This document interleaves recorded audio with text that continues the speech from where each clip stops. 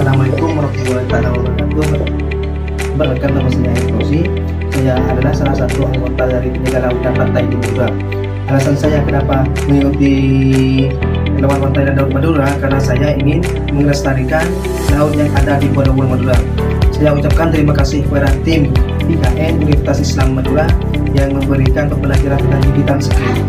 Assalamualaikum warahmatullahi wabarakatuh Perkenalkan nama saya Syatul Rahman. Saya adalah anggota relawan penjaga pantai dan laut di Madura. Mengucapkan terima kasih atas kesempatannya dalam belajar tentang digital skill oleh tim PKM Universitas Islam Madura. Terima kasih.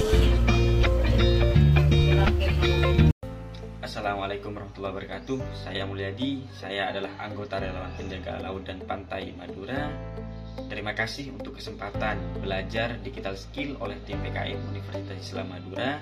Wassalamualaikum warahmatullahi wabarakatuh. Rapala, yes.